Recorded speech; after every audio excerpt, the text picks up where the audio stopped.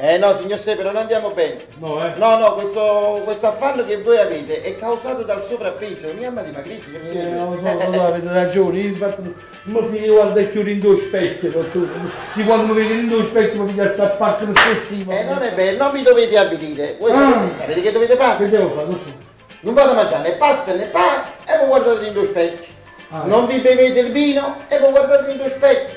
Non vi mangiate la roba condita con olio, sale specchio. A Domenico non vado a mangiare i dolci e vi guardate nello specchio. Signor Sepe, Eh. voi avete capito buono quello che dovete fare? La cagata è dietro lo specchio.